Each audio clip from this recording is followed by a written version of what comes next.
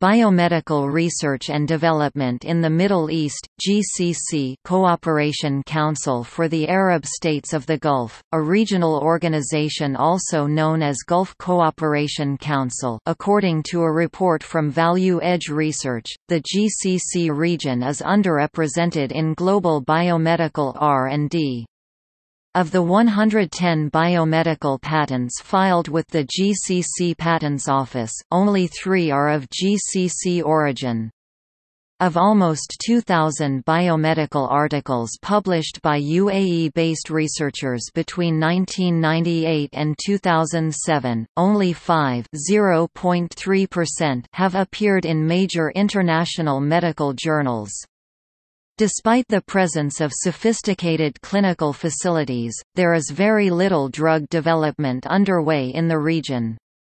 Of 71,764 globally registered clinical trials, 116 involve GCC countries. According to Value Edge Research, GCC countries have proposed ambitious technology, innovation and R&D promotion plans.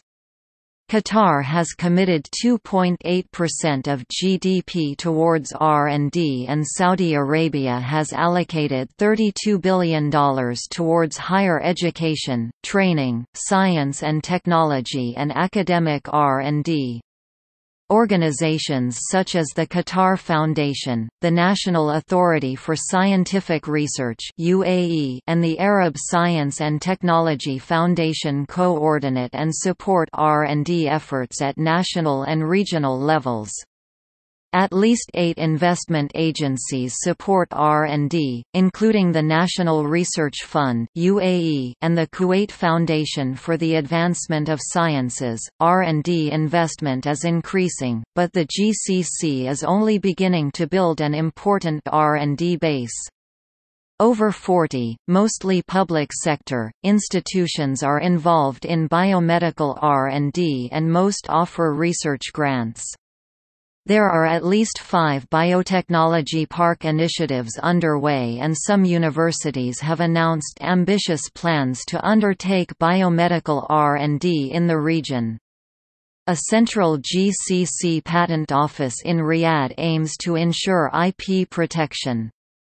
Pockets of biomedical research excellence exist in areas including genomic studies and veterinary medicine.